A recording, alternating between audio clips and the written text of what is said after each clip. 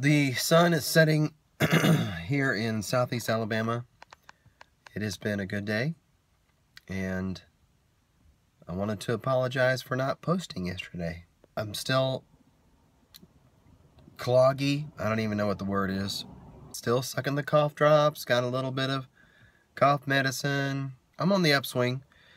It's just going to be another day, and I'll be right back in the swing of things. Had something happen a couple days ago that threw me back to realize uh, who I need to be in relationship to other people. Took too much medicine, aka had too many martinis for hot toddies. Just drank too much Jack Daniels. And it made me very embarrassed. Honestly, made me very embarrassed. And I don't even want to talk about it here.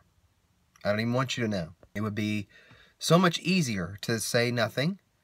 At the same time, I want you to know where I'm going, what I'm doing. That's what this is for. It just made me reevaluate what I'm doing and why. I've apologized to everybody I know to, and all is good relationally. It's just, I want to be a better man than that.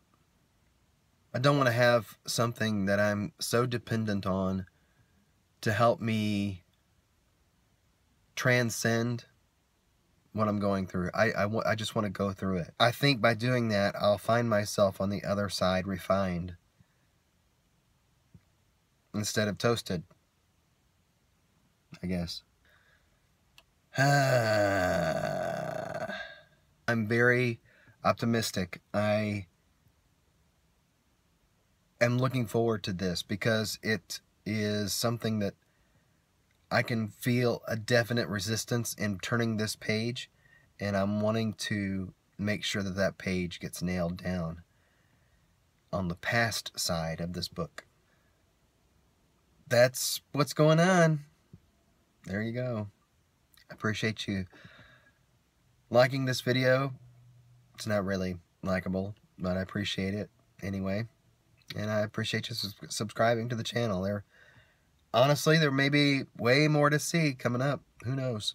And as always, you can find me on Twitter at Brett Q. Smith.